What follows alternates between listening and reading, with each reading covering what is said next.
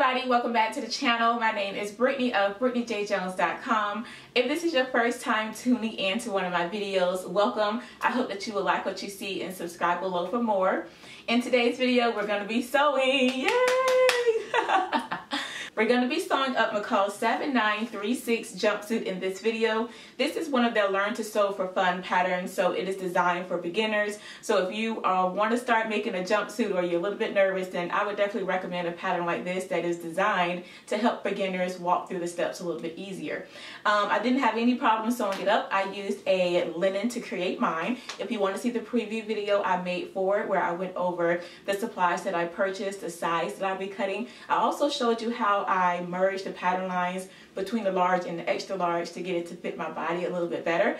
So if you want to see all of that, you can click right here to check out that video. So once you have your pattern piece cut out as well as your fabric, you've transferred all of your notches and markings, we can get started. To begin working on our jumpsuit, we're going to take a front and a back, put it right size facing. So here's my front piece here, and here is a back and I have them right sides facing. We are going to stitch at this inside leg seam. So we're gonna stitch our inseam together. But before I stitch mine, I want to go ahead and finish off my raw edges with my serger. I'm gonna go ahead and do that for the other front and back piece as well. And then I'm also going to finish off this center seam because that's the next step that we're gonna be moving to after we stitch this inner leg seam. So I'm gonna go to my serger now and just finish off all of my raw edges.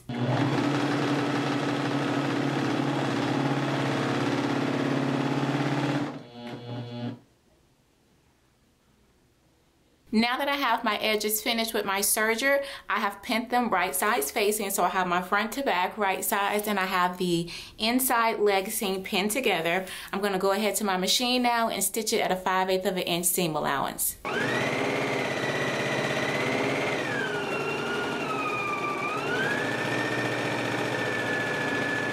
Okay, now that you have your inside leg seam sewn, now we can go to our ironing board and go ahead and press this seam open flat. So I'm gonna go to my ironing board right now and go ahead and press. All right, so I have both of my inner leg seams pressed and I normally press right here on camera so you all can see, but my mats are starting to warp a little bit. So um, I'm just gonna go ahead and press off camera and then um, just come back here and show you that I have pressed it. So again, now that I have it pressed, I'm gonna go ahead and put right sides facing for my front and back pieces. Match up these inner leg seams, pin in place,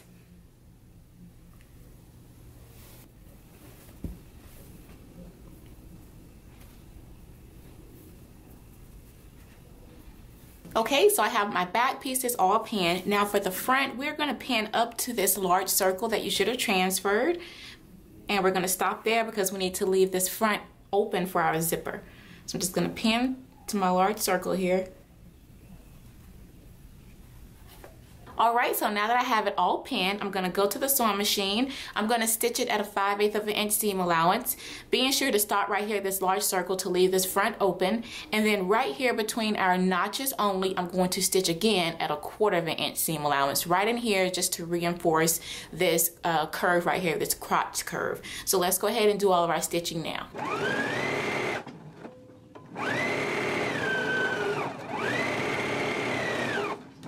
Okay, so I have my center seam sewn and I left the front open. So now let's go ahead and start inserting our zipper. Before we insert it, I do want to show you that I did fuse a about a 5 8 of an inch strip of um, interfacing right here just along the front.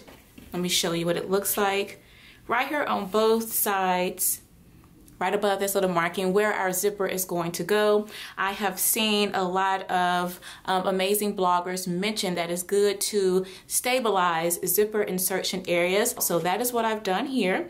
So after we install the zipper on the inside of our garment, you won't be able to see the interfacing. It'll be up under the zipper. So I just wanted to show you that I did go ahead and do a little bit of stabilizing for my zipper area. So now here's my zipper and my zipper is longer. I don't know why we needed to buy a 22 inch zipper because we don't need this whole 22 inch zipper.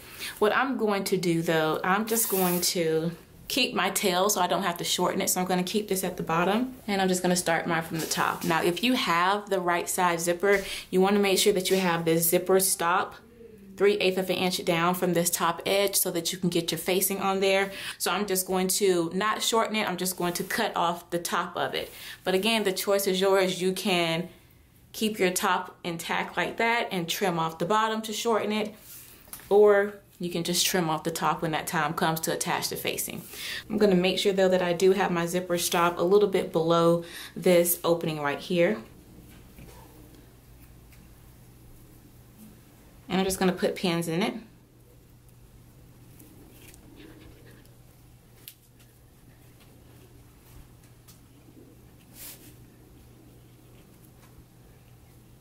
Okay, once you have one side of the zipper pinned, we can go ahead and go to our sewing machine and stitch it down. I'm not gonna use an invisible zipper um, foot. I'm just gonna use a regular zipper foot and I'm going to be moving these coils over to the side so I can stitch right here beside the zipper teeth. So I'm gonna go to the machine now and go ahead and stitch this side of the zipper in.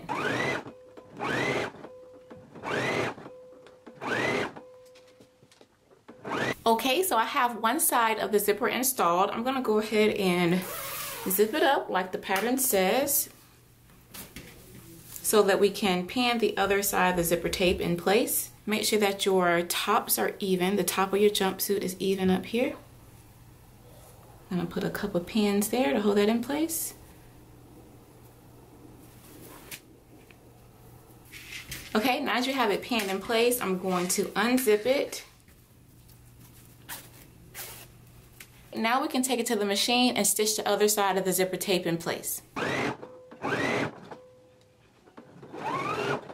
All right, so I have both sides of the zipper installed. So now, moment of truth, let's zip it up and see how it looks. All right, that looks like a good invisible zipper to me. Looks really, really good. So now I'm gonna flip it to the inside. And if you want to cover the bottom edge of your zipper um, your zipper, then you can cut off a little piece of bias tape or uh, scrap fabric and just stitch that across to just give that a nice finish.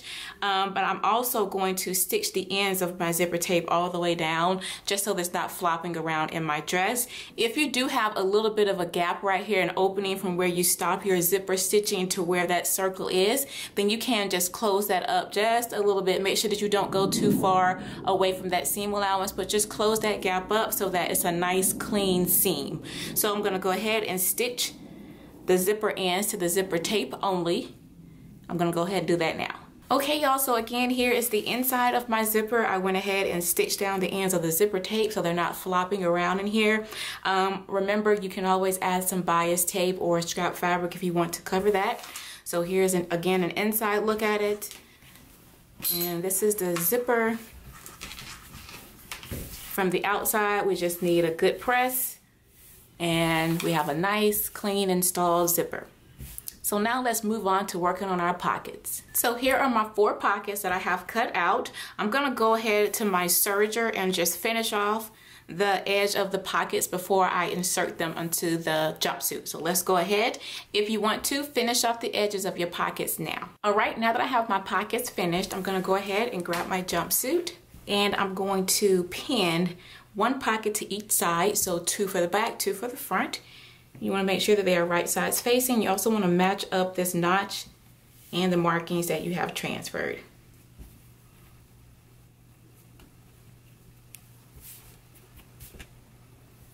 Okay, now that I have all four of my pockets pinned, I'm gonna stitch them at a quarter of an inch seam allowance, and then I'm also gonna go ahead and finish off the entire side seam of my jumpsuit with my serger.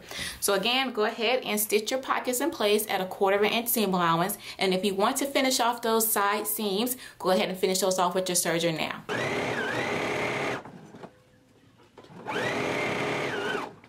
Okay, so I have my pockets installed. I've also pressed them going toward the seam.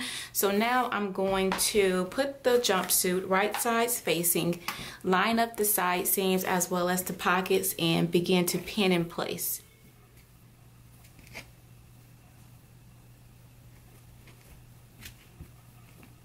You also should have transferred some markings. Mine are kind of disappearing, but I can see where I originally put them. So I'm just gonna go over those markings right there.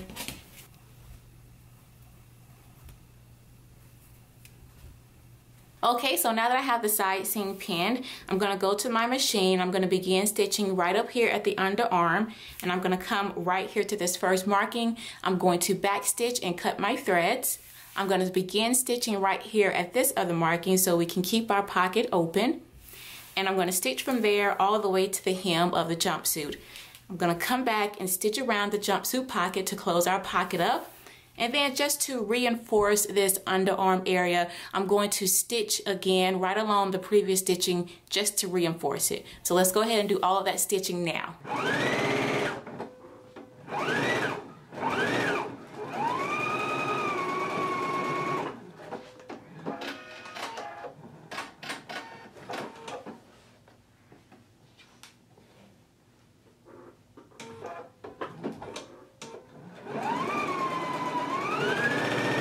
Okay, now that we have the side seam sewn, we've also sewn our pocket. We've done our reinforced stitch up under our underarm. Now we need to clip our pockets above the pockets and below the pocket. I'm just gonna click on my back, clip on my back seam allowance. It doesn't notate on the pattern which one to clip. I'm not gonna clip both. And the reason I'm just gonna clip the back is because that is what I see a lot of on other patterns that they only have you clip the back seam allowance. So here's my pocket. So I'm just gonna clip diagonally right here above it and below the pocket.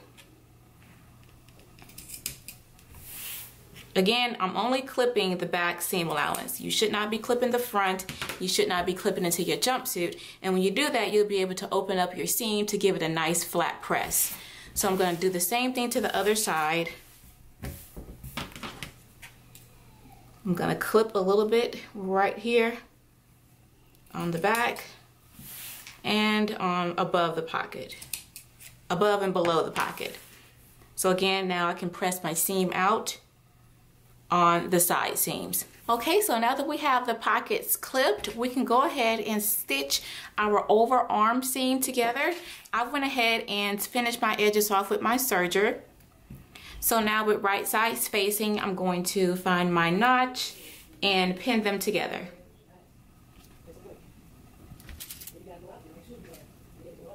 All right, now that we have our overarms pinned together, we can go ahead and stitch them at a 5 8 of an inch seam allowance now.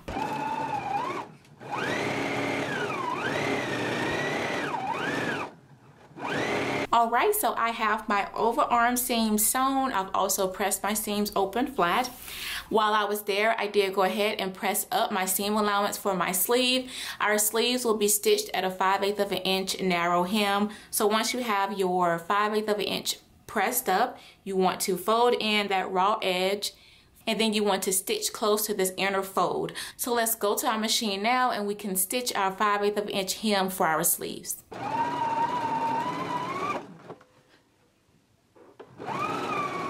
All right, so I have my narrow hem sewn in place for my sleeve and I've given it a press. So now we can start working on our facing. So here are my facing pieces right here and you can see that I've gone ahead and fused interface into the back of them. So right now we're going to put our facing pieces right sides facing.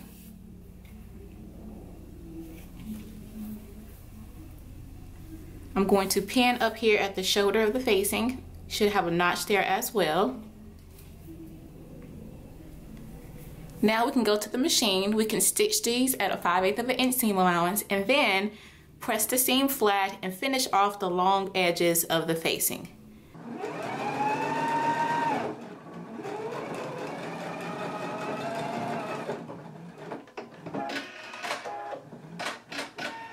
Okay, so I have my facing sewn together. I pressed the seam open and I also finished the edges off with my serger. So now let's go ahead and grab our jumpsuit. I'm going to unzip this just a little. And now with right sides facing, the right side of my jumpsuit is facing up, I'm going to put my facing over it. I'm going to match up my shoulder seams here and pin in place, making sure those seams are even. You should also have a notch right here that matches with the notch on the facing. Line those up and pin in place. I'm going to open out my zipper so that I can see the raw edge here and I'm going to line up my facing with that and pin it in place. I'm just going to continue pinning the facing all the way around the neck edge.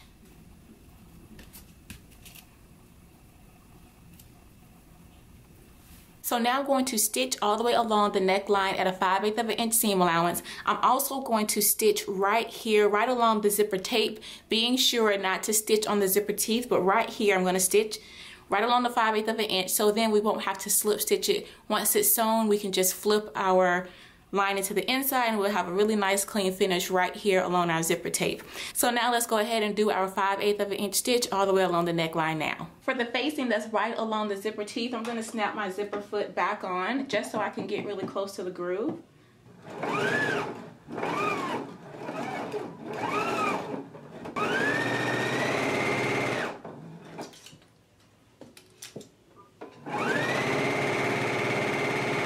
Okay, so now that I have the facing sewn on, I'm gonna do a little bit of trimming.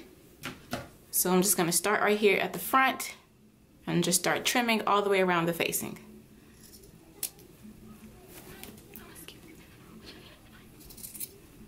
Okay, now that I have that neck seam trimmed down, I'm gonna go back to the machine and do some understitching. With understitching, you wanna make sure that your seam is facing toward your facing because we're only gonna be sewing along the facing and the seam allowance. So make sure that your seam allowance is all going toward the facing, not toward your jumpsuit. And we're gonna stitch close to this seam. The understitching is done to keep the facing from rolling out while you're wearing your garment. So make sure that you do your understitching now.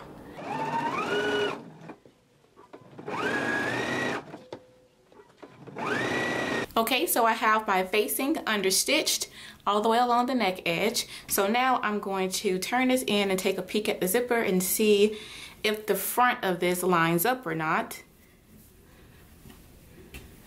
I haven't pressed the neck, um, the facing down just yet. I want to check first before I do my facing. And you can see that I am off. So I'm going to zoom in so you can get a closer look at uh, my zipper and where it's stopping. So if you look right here, the zipper on this side stops right here perfectly, but up here, I have more zipper up here. So that is no bueno. so I need to unzip this and I need for this to come down to this point so that it matches with the zipper when I close it. I need both points to meet here. So easy fix, I'm just going to come, wait, let me kind of mark that so I know um, how much I'm coming down. I can measure down. So this is the distance right here that I need to bring this down so that it is even right here. Okay, so I'm going to unzip this, come under this facing, grab it right here. So I'm just gonna go to the machine and I'm just going to start here with my angle and bring it up here to this seam so that it blends. So again, I'm just gonna bring it down here just a little and bring it up so that it meets this stitch right here. So I'm gonna go to the machine and do that now and I'll be right back to show you what it looks like. Okay, so I am back from the machine. I just wanted to show you what I did. It's a lot of stitches here, I know. this first one here was the original one and it was too high. So then I started here and I brought it up to meet the line, but it, I brought it up at a weird angle so it kind of curved. I flipped it out to look at it and it kind of curved. So I did it again took out a little bit of that understitching so I could come up further with that line. And so I just brought it more at a V angle here instead of that weird, I don't know what I did here. um, so now I just need to trim this down, but first I want to flip it out so you all can see um, if it looks better now, if it lines up with the other side. So let's zip it up. So now you can see here that it meets at a much better point and it's even. It, you remember it was up high, so I had to bring it down. So yeah, super easy to do. If you if your zipper isn't meeting, then maybe you can come in a little bit more on that facing on the front um, to get it even. So no need to panic. Just go back into your facing and do a little bit of adjusting until you get them to meet evenly. So now I'm gonna go back in here and trim off this excess right here and then we can move on to the next step. Okay, so I am back from pressing my facing down. So now I'm going to grab a needle and thread and I'm just gonna put a couple tacks right here to keep the facing from flopping on the inside. So just grab your needle and thread and just tack a little bit right here at the edge of the facing on both of the shoulder seams. Okay, so I've gone ahead and I put a couple tacks right here in my facing to hold that in place. The next step is for us to go ahead and do our hem. And our hem allowance is an inch and a quarter. So we're going to press up an inch and a quarter once you have that pressed up, you want to go ahead and base close to this fold. And then we're going to press up that quarter of an inch. So then our final hem would just be an inch. And then we're going to baste along this fold. Once you have it basted, you can turn to the outside and then do your top stitch following along with that baste. So let's go ahead and stitch our hem in place now. And again, the hem allowance is one and a quarter inch. All right, so I have my hem pressed up. I'm gonna go ahead and flip it so that the right side of my fabric is facing up and it will be stitched with the top needle, not the bobbin.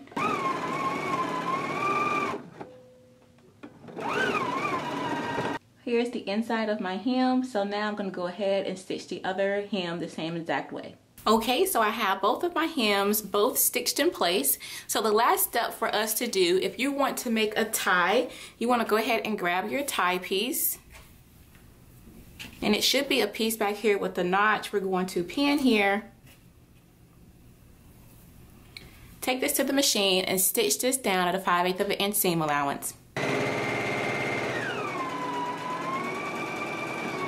Now that you have the center of the tie sewn, I've gone ahead and I pressed my seam open. So now I'm gonna fold the tie in half lengthwise with right sides facing.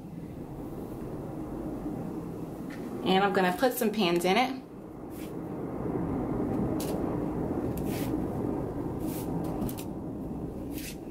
I'm gonna put a pin right here in the center so that I can leave an opening to flip it right side out.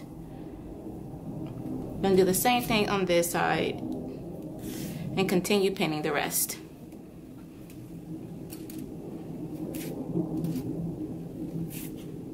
All right, now I'm gonna go to the machine. I'm gonna stitch the tie. I'm gonna begin right here and stitch all the way to one end. And then I'm going to begin here and stitch all the way to the other, being sure to leave this open so I can flip the tie right side out. So let's go ahead and stitch it now.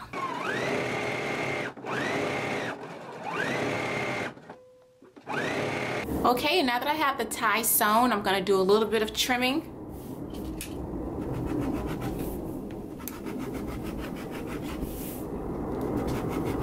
Now that I have it trimmed down, I'm just gonna flip my tie right side out.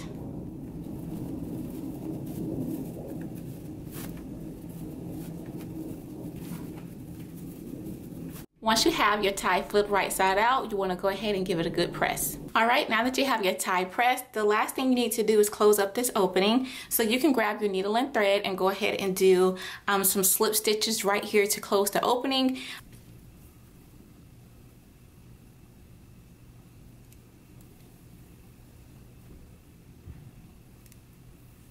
Okay, so I have my tie, I have the opening on that all slip stitch closed. So now we need to create a thread loop on the outside of our jumpsuit for our tie to go through. I'm going to do a thread chain loop. It's something that I learned from Miss Erica Bunker. She has an amazing video for it and I'm going to be sure to link it for you to check that out. So I'm going to start mine on the inside Okay, so I have my thread. I just, I have the knot on the inside of the jumpsuit. And I am gonna create a little loop here. So now I have what looks like this and this. It's kind of hard to explain. That's why I'm gonna link that video. So what I'm gonna do is bring this down a little bit. I'm gonna bring, grab onto this thread and pull that through.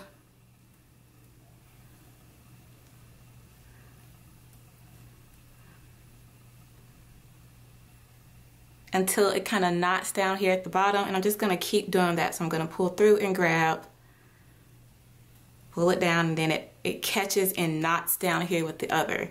And you just keep doing this little hand motion here until you get it. Let me get the less thread here.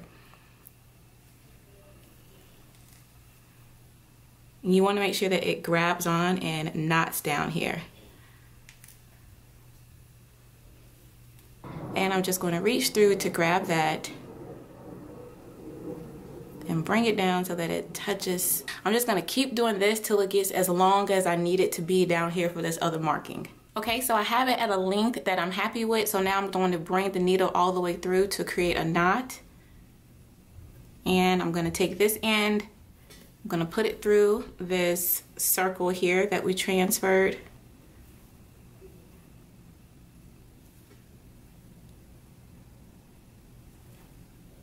So this is what my thread chain will look like. So I'm going to tie this off on the inside of the jumpsuit. All right, once you're all done doing your other thread loop on the outside of your jumpsuit, you'll be all done. Thank you all so much for joining me for another Sew With Me video. I really do hope that you all enjoyed it. If you have any questions, please leave them for me down below. I'll be more than happy to answer. Be sure to like, comment, and subscribe. Turn on your notifications, and I will see you in the next video. Blessings, everyone. Bye.